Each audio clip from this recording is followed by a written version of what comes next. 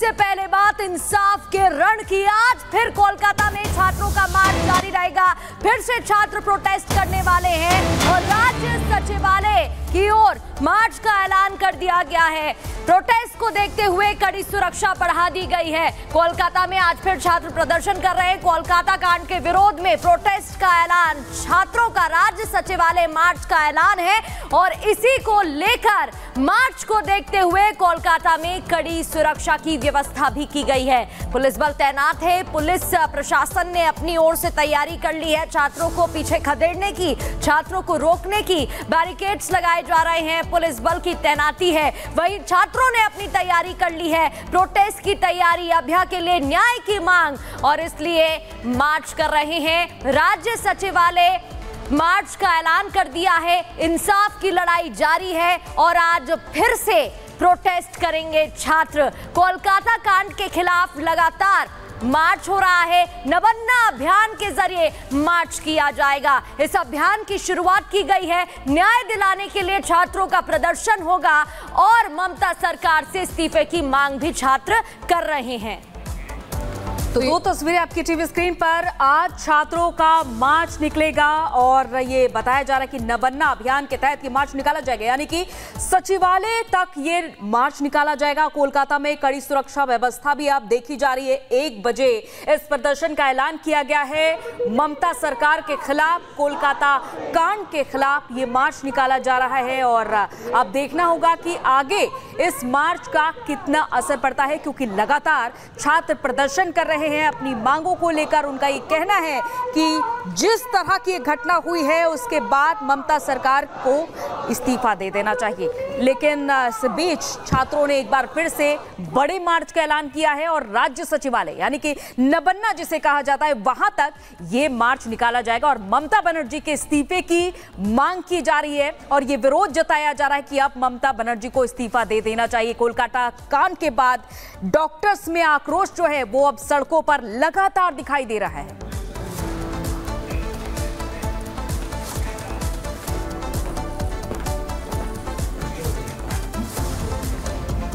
तो देखिए, किस तरीके से कोलकाता कांड के खिलाफ यहाँ पर मार्च हो रहा है, आपको बता रहे हैं कि किस तरीके से नवन्या अभियान जो है, वो अब चलाया जा रहा है। आगे आपको बताएँगे, इंसाफ के लिए ये रण चल रहा है, ये मार्च निकाला जा रहा है, जिसकी तस्वीरें भी हम आपको दिखा रहे थे। नवन्या अभियान के ज़रिए प्रदर्शन किया जा रहा है।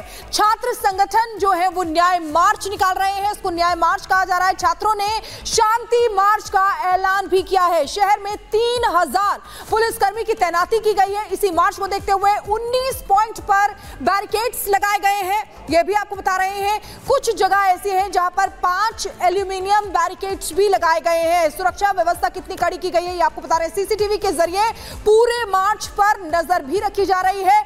और इनकी मांग है कि ममता सरकार जो है वो इस्तीफा दे। ममता सरकार से इस्तीफे की मांग भी ये छात्र कर रहे हैं प्रदर्शन के लिए, लेकिन अनुमति नहीं ली गई। पुलिस की तरफ़ से कहना है। पुलिस कह रही है कि प्रदर्शन के लिए कोई अनुमति उनसे नहीं ली गई है। मार्च के दौरान हिंसा होने की भी आशंका और इसीलिए तीन हज़ार पुलिसकर्मी की तैनाती की गई है। सुरक्षा व्यवस्था चाक चौबंद की गई है।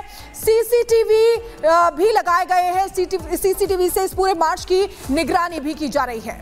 बिल्कुल शिखा आपको बता रही थी कि किस तरह का मार्च होना है और किस तरह की सुरक्षा व्यवस्था वहाँ पर जतिन हमारे साथ जुड़ चुके हैं। जतिन, ममता सरकार के खिलाफ लगातार आक्रोश देखा जा रहा है, लेकिन दूसरी तरफ़ पुलिस प्रशासन की ओर से अनुमति नहीं मिली है। बड़ी संख्या में जब ये प्रदर्शनकारी जुटेंगे, वहाँ पर कैसी व्यवस्था है, जबकि अनुमति नहीं मिली है? आज बिल्कुल बिल्कुल बिल्कुल। पुलिस की तरफ़ से कोई अनुमति नहीं मिली है और ना ही आ, किसी ने पुलिस से अनुमति मांगी है ऐसा आ, वेस्ट बंगाल एडमिनिस्ट्रेशन और कोलकाता पुलिस का साफ़ तौर पर कहना है। इसको नबन्ना मार्च का नाम दिया गया है और ये मार्च अलग अलग पॉइंट से शुरू होगा जिसमें हैस्टिंग एक पॉइंट है। आ, तमाम पॉइंट से ये मार्च शुरू होकर पहुंचेगा नबन्ना जिसको कोलकाता में सचिवालय बोला जाता है जहाँ पर ममता बनर्जी का दफ्तर भी है और तमाम एडमिनिस्ट्रेशन वर्क वहाँ से किए जाते हैं। हालाँकि नबन्ना के आसपास के जितने भी रोड्स हैं उसको पूरे तरीके से ब्लॉक कर कर दिया गया है। कंटेनर्स कई जगह पर रख दिए गए हैं। 2100 पुलिसकर्मी अलग अलग पॉइंट्स पर तैनात किए गए हैं। 15 ऐसे पॉइंट्स बनाए गए हैं जहाँ पर आईपीएस लेवल के अधिकारी इसको निगरानी रखेंगे।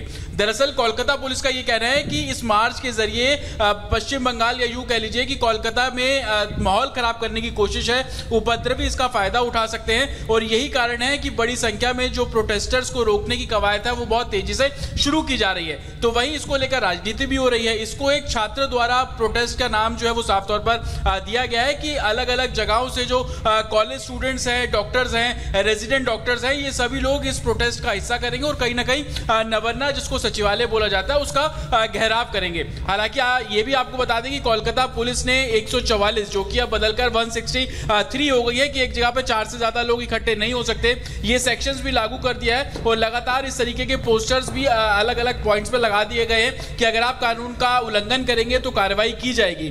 हालाँकि माहौल खराब ना हो उसको लेकर लोगों को समझाने की कोशिश की जा रही है। अगर आप बीजेपी की बात कर ले तो वो लगातार इस तरीके के एलिगेशन लगा रहे हैं कि रात को ही पुलिस ने कई स्टूडेंट्स को डिटेन कर लिया।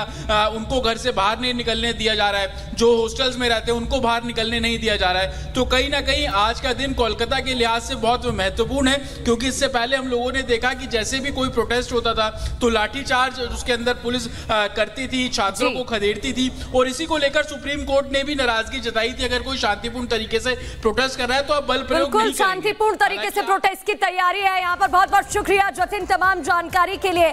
तो देखिए एक तरफ़ थे अंजन पर हड़ताल कर रहे थे और ये तस्वीरें उसी की हैं। और सवाल यही उठता है कि आखिर ये कौन सा एजेंडा चलाया जा रहा है कि यूनिवर्सिटी में जाति की गणना की मांग की जा रही है। बारह मांगे की गई, लेकिन सबसे मुख्य मांग जो है वो जाति की गणना रखी गई।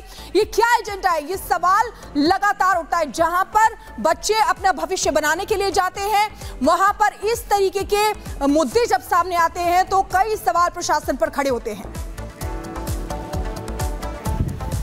तो चलिए अब बात कर लेते हैं झारखंड के पूर्व सीएम चंपई सोरेन के बारे में, क्योंकि बीते पिछले कुछ दिनों से वो काफ़ी ज़्यादा सुर्खियों में थे कि वो आखिर कौन सा रास्ता चुनने वाले हैं, लेकिन अब उनकी पिक्चर क्लियर हो चुकी है कि वो 30 अगस्त को बीजेपी में शामिल होने जा रहे हैं। देखिए इसी से जुड़ी ये रिपोर्ट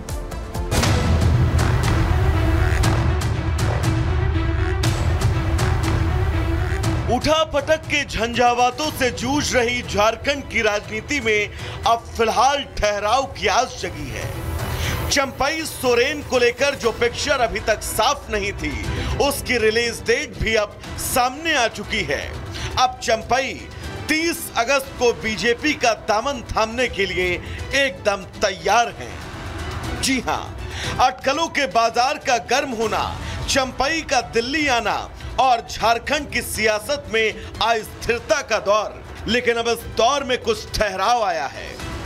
इससे पहले जब चंपई सोरेन दिल्ली पहुँचे थे तो उनके बागी तेवर को देखकर कोई भी भाग सकता था कि ये किसी नए राजनीतिक मोड़ की तैयारी है।